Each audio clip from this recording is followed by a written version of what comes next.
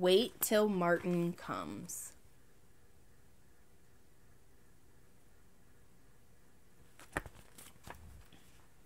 An old man was out for a walk. When a storm came up, he looked for a place to take shelter. Soon he came to an old house.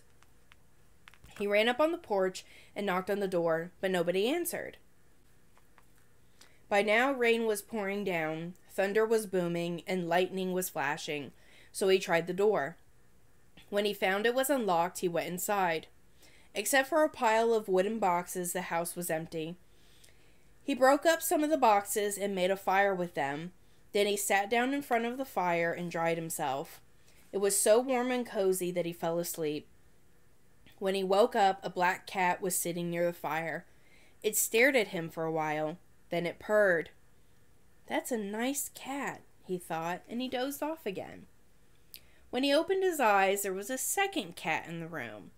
But this one was as big as a wolf. It looked at him very closely and it asked, Shall we do it now? No, said the other cat. Let's wait till Martin comes. I must be dreaming, thought the old man. He closed his eyes again. Then he took another look, but now there was a third cat in the room. And this one was as big as a tiger. It looked the old man over and it asked, Shall we do it now? No, said the others. Let's wait till Martin comes. The old man jumped up, jumped out the window, and started running.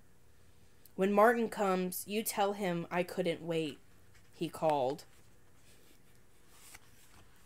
Who's Martin?